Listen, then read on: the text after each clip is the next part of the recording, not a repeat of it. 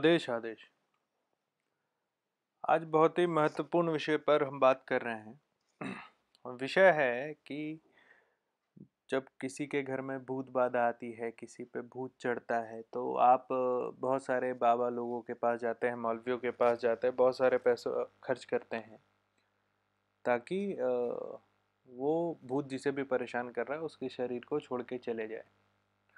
आज मैं आपको एक उपाय बताऊँगा, जो कि सिर्फ़ आप दो लौंग से कर सकते हैं। आप सबके घर में लौंग होगा। तो उस लौंग का प्रयोग होता है, किसी के भी ऊपर अगर भूत लगा है तो उस भूत को उतारने में। सिर्फ़ उतारने में नहीं, अगर वो आत्मा अनिष्टकारी है तो उसको आप जलाकर राग भी कर सकते हैं। तो इस विधि पे हम लोग आज बात करेंगे। लेकिन इस विधि पे बात करने से पहले आप लोग को जानना चाहिए कि हम लोग करने क्या वाले हैं। सबसे पहले भूत बाधा होता क्या है? उससे पहले भूत क्या होता है? ऐसे हम सभी जानते हैं कि भूत अगर कोई व्यक्ति मर जाए तो वो भूत बन जाता है। इस हिसाब से तो हर व्यक्ति जो मरता है उसको भूत बनना चाहिए। लेकिन जिसका काल समय चक्र पूरा हो जाता है, वो अगले डायमेंशन में मूव कर जाता है, वो भूत नहीं बनता। भूत योनि में कौन कौन जाते हैं? भूत योनि में मूलतः दो लोग जाते हैं, एक वो, जिनकी अकस्मात मृत्यु हो मतलब जो अपने मृत्यु के लिए तैयार नहीं थे। तो उनकी जब मृत्यु होती है, आत्मा जब शरीर छोड़ती है तो उनको पता ही नहीं होता कि अगला क्या करना है। और दूसरे वो जो कि लालची होते हैं। लालची मतलब जिनको अपने किसी प्रियजन से लालच हो, जिनको अपने किसी वस्तु विशेष से लालच हो, जिनको अपनी जायदाद से लालच हो ऐसे लोगों को लगता है कि वो मरने के बाद भी अपने उस प्रिय वस्तु को ना छोड़े तो वो यहाँ पर रह जाते हैं।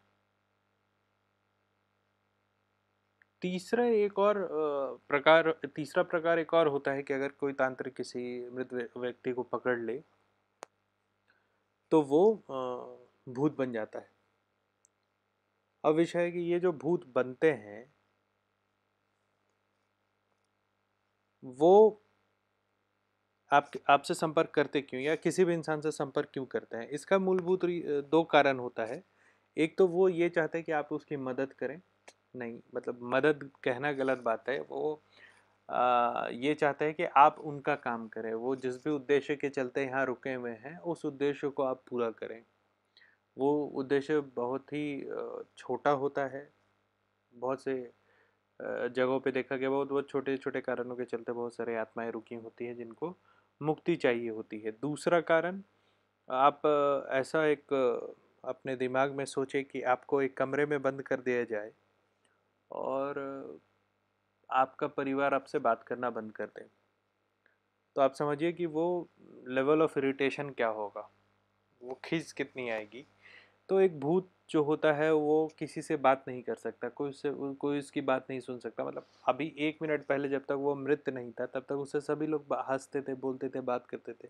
और जिस क्षण से वो मरा है, उस समय से उससे कोई भी बातें नहीं करता। आप समझ पा रहे हो? तो ये दो चीज़ें होती हैं जिसके चलते एक भूत अपने आयाम को छोड़ करके जो जीवित इंसान होते हैं, उनसे संपर्क करता है। तो विषय ये आता है कि आ, किसके शरीर पे भूत हावी होता है? तो हिंदू धर्म में कहा गया है कि जिसका आसन हल, हल्का होता है तो आसन किसका हल्का होता है? इस पर मैं बाद में आऊँगा। इससे पहले मैं एक चीज़ बता दूँ कि जैसे हम लोगों के पास केसेस आते हैं कि भूत ने पकड़ लिया पोजेशन का केस है विचित्र विचित्र हरकतें करते हैं लोग। निन्यानवे पर प्रतिशत केसों केसेस में हमने देखा है कि ये झूठ मूठ के आडम्बर करने वाले लोग होते हैं। दो तरह के व्यक्तियों को बहुत ज़्यादा पकड़ता है चाहे वो जो काम चोर हों जिनको काम नहीं करना है जिनको पढ़ना नहीं है जिनको आ, मतलब आराम की रोटी रोटी तोड़नी है वैसे लोग अपने परिवार में ये एक स्वांग रचते हैं कि मुझे भूत ने पकड़ लिया है। तो लोगों की सहानुभूति हो जाती है और ये लोग इन लोगों के साथ फिर कोई ज़बरदस्ती नहीं होती, कुछ कोई काम करने नहीं बोलता। दूसरे ऐसे लोग जिनको ऐसा लगता है कि उनको सही सम्मान नहीं मिल रहा है या लोग उन पर ध्यान नहीं दे रहे हैं तो खुद की तरफ़ ध्यान आकर्षित कराने के लिए भी लोग ऐसा एक अपने विषय में ऐसा दर्शाते हैं कि वो खुद के आपे में नहीं है, उनको कोई और कंट्रोल कर रहा है। तो इस तरीके से क्या होता है कि एक तो डर का माहौल बनता है दूसरा एक सहानुभूति का माहौल बनता है। तो लोग ऐसे लोग जिन पे भूत भूत लगा हो भाई साहब उससे दूर ही रहते हैं। तो आसन हल्का जो मैंने कहा आप एक चीज़ समझ लो कि अगर आप किसी को आ, किसी व्यक्ति से डील कर रहे हो जिसको भूत आता है तो आप इन दो चीज़ों दो पहलुओं पर गौर करना कि उसकी आर्थिक स्थिति कैसी है पहला। और दूसरा विषय कि वो काम धंधा करता है कि नहीं, वो कामचोर है कि नहीं, तीसरा कि उसके परिवार में उसका अपना या उसके समाज में उसका, उसकी पकड़ कैसे लोग उसको किस नज़रिए से देखते हैं। इससे आपको एक क्लियर पिक्चर मिल जाएगा कि जिस जिस व्यक्ति को आप देख रहे हैं, जिसको भूत लगता है, उसको भूत लगता है या फिर उसके मन का ये वहम है। कई बार ऐसा होता है कि लोग इतने इस लेवल तक डिप्रेशन में चले जाते हैं कि वो उनका सबकॉन्शियस उनसे कुछ चीज़ें करवाता है और लोगों को लगता है कि ये खुद नहीं कर रहा है, कोई आत्मा इसको करवा रही है। हम आसन की बात कर रहे थे। आसन का मतलब क्या होता है? आसन कोई चमत्कारी वस्तु नहीं है, ना आसन कोई ऐसा चीज़ है जो कि आपकी कुंडली में लिख के आता है या आसन ऐसी कोई चीज़ है कि आप बहुत पूजा पाठ करते हो तो आपका आसन भारी हो जाता है, ऐसा कुछ नहीं आसन का मतलब होता है खुद पे आपका कंट्रोल। खुद पे आप, आप अपना मालिकाना हक अपने शरीर पे आ, कितना समझते हैं? देखिए देवता ने आपको जो आत्मा दी और शरीर दिया आपको उसका भरण पोषण करने की ज़िम्मेदारी भी दी है। मतलब आप इस शरीर को जो आपका एक गिफ्ट है उसको आप कितने अच्छे से रखते हो ये आपकी ज़िम्मेदारी होती है। ठीक है? तो जब कोई भूत या कोई प्रेत आपके शरीर पर हावी होता है इसका मतलब आपको जो देवता ने एक गिफ्ट दिया, जो एक गिफ्ट से ज़्यादा मैं बोलूँगा वो आपको रखने के लिए एक सामग्री दी, ये आपकी रिस्पॉन्सिबिलिटी होती है, उस पर किसी और ने कब्ज़ा कर लिया। आप समझो कि बचपन में एक कलम अगर आपके बगल वाला बच्चा आपके क्लास में ले लेता था तो आप किस तरीके से लड़के उसको लेते थे कि ये मेरा कलम है? या आज अगर आप बड़े हो तो आपके ज़मीन का या घर का जो अगर किसी और ने कब्ज़ा कर रखा हो तो आप कितने दम खम के साथ लड़ते हो उसको वापस लेने के लिए तो आप ये सोचो कि आपके जीवन में सबसे ज़्यादा महत्वपूर्ण क्या चीज़ है? आपके जीवन में सबसे ज़्यादा महत्वपूर्ण ये शरीर है, क्योंकि अगर ये शरीर ही नहीं रहेगा तो दूसरा कोई चीज़ एग्जिस्ट ही नहीं करता। तो जिस दिन आप इस चीज़ को समझ जाओगे कि आपके पास जो सबसे महँगी सामग्री है या वस्तु है, वो आपका शरीर है, उस दिन आपका आसन भारी हो जाएगा। आसन भारी होना कोई बहुत ही बड़ा साइंस नहीं है। आसन भारी होने का मतलब होता है, मुझे पता है कि मेरा खुद का कितना वैल्यू है। तो आज जिनका आसन हल्का है, अगर उन पे भूत बाधा आ जाए तो उस भूत बाधा को सिर्फ़ दो लौंग से कैसे हम हटाते हैं, इसके बारे में बात करेंगे। तो भूत बाधा क्या होता है? आपने फ़िल्मों में देखा होगा सीरियल्स में देखा होगा कि एक भूत किसी के शरीर में घुस गया उसकी आँखें बदल गई उसके आवा, उसका आवाज़ बदल गया उसका हाव भाव बदल गया वो बड़ी ही मतलब सुपर चीज़ें करने लगा तो पता चलता है कि भाई साहब इसमें तो भूत आ गया है। लेकिन वास्तविक रूप में भूत जब किसी को लगता है तो वो शरीर के अंदर नहीं घूम घुसता बल्कि उसके आसपास रहता है। ये समझने वाली बात है।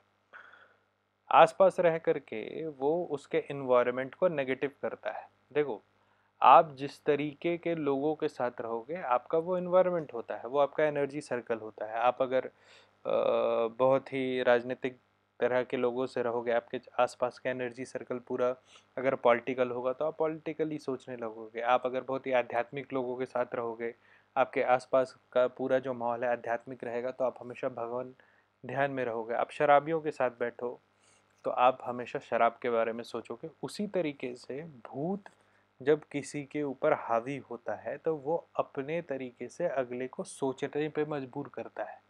जब किसी पे भूत बाधा आएगा तो उसका सबसे बड़ा जो साइन होता है, जो फ़र्स्ट साइन जिसको कहते हैं, वो होता है डिप्रेशन।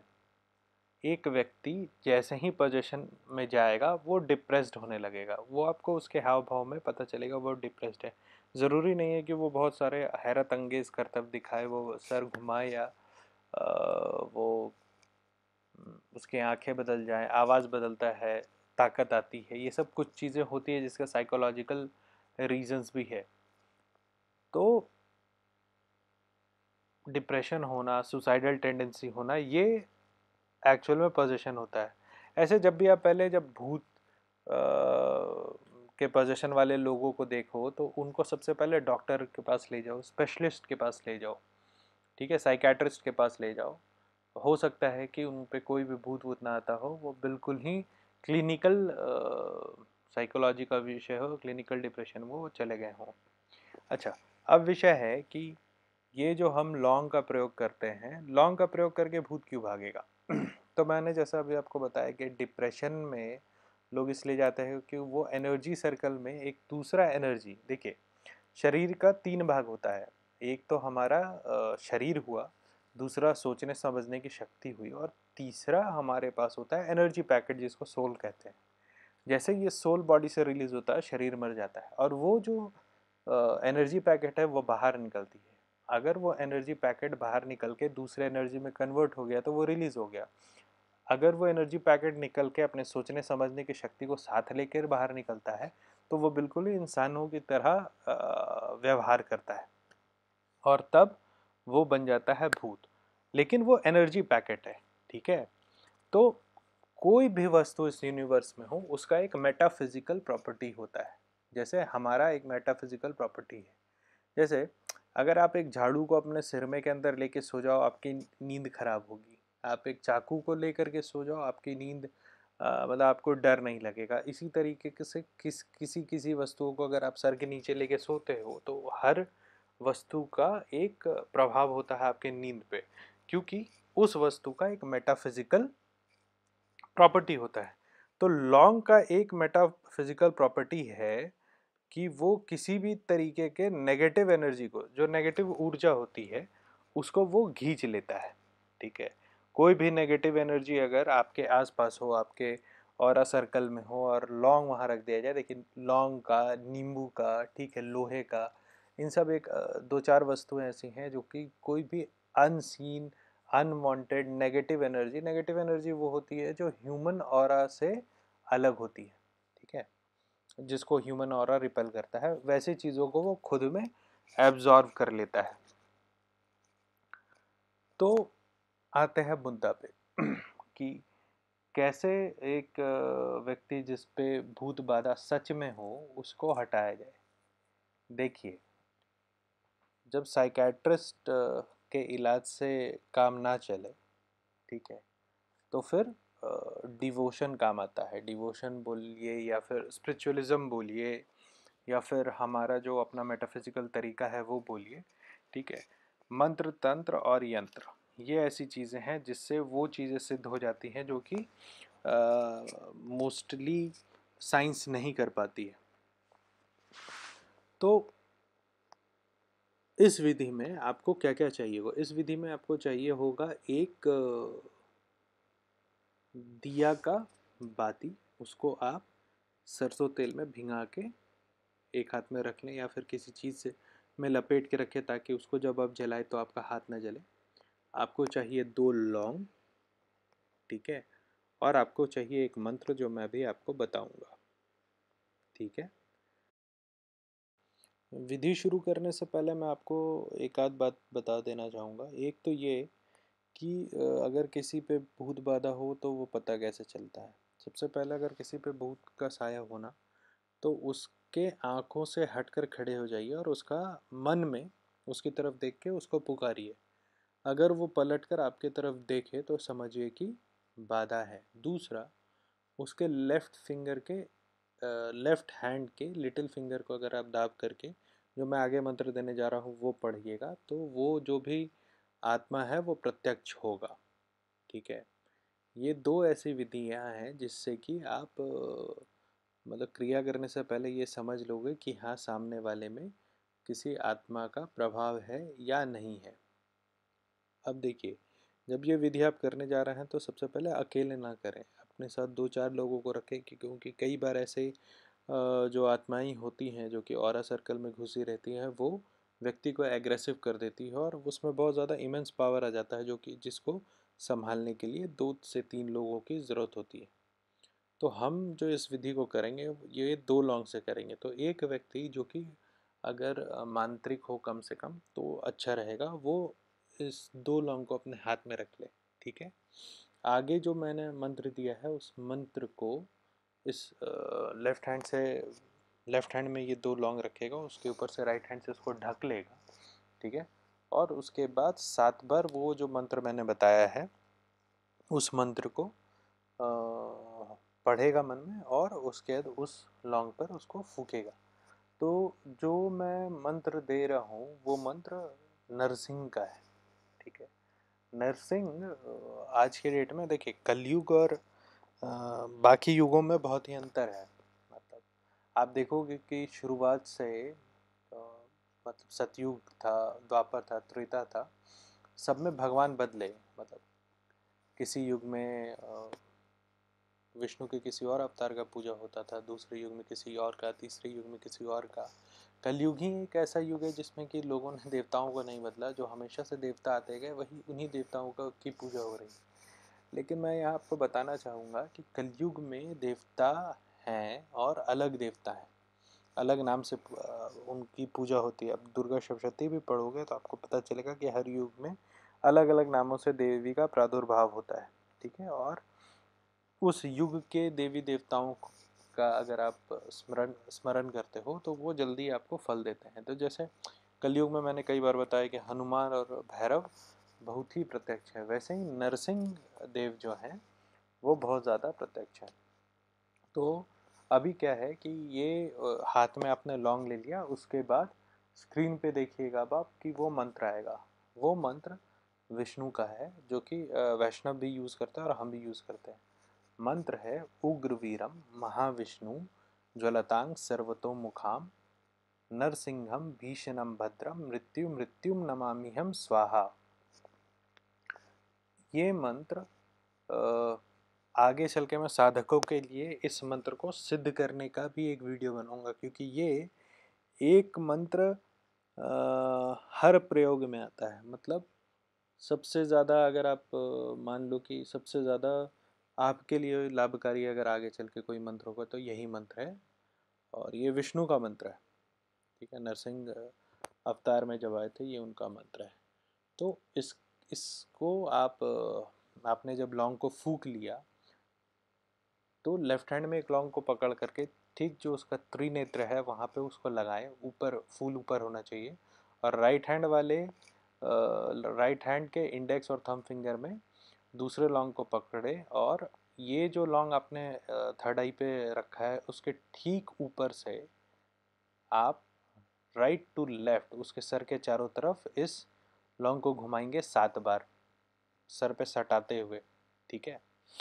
जब आप सर पे सटाते हुए घुमाएँगे तो भी आपको मंत्र पढ़ते ही रहना है। जब आप पढ़ लोगे तो ये जो आपके हाथ में दोनों लौंग है, इसको घर के बाहर ले जाना और वो जो आपने दिया की बाती रखी हुई उसको जलाना और उसमें इन दोनों लौंग को जलाना। जैसे आप इस लौंग को जलाओगे, इससे ऐसी, ऐसा एक दुर्गंध आएगा, जैसे आपको लगेगा कि आप कहीं स्मशान में खड़े हो जहाँ कोई सड़ी हुई लाश जल रही हो। अगर ऐसा हुआ तो समझ लेना कि आपका भूत बाधा समाप्त हो गया है और नहीं हुआ तो आप ये समझ लेना कि आपके सामने जो बैठा हुआ है, वो नाटक कर रहा है। आज के लिए बस इतना ही।